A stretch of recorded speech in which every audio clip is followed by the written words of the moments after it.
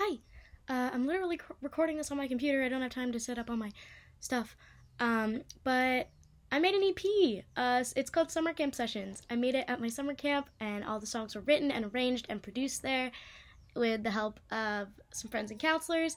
And the whole point of it, the whole shtick, is that it's like there's a siren. Uh, the whole shtick is that it's kind of like um, super acoustic, kind of just like that, like your counselor plays the guitar and you all sing along to that one song by Jimmy Eat World that everyone knows the words to.